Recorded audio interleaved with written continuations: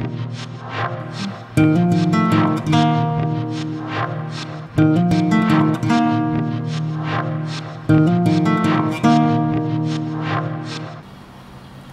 sevgili yengeçler.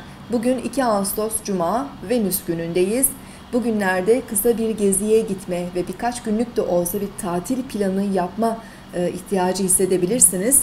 Eğer e, işleriniz nedeniyle bunları yapmaya imkanınız yoksa kendinizi rahatlatacak yeni ilgi alanları, hobiler bulmanız da söz konusu olabilir.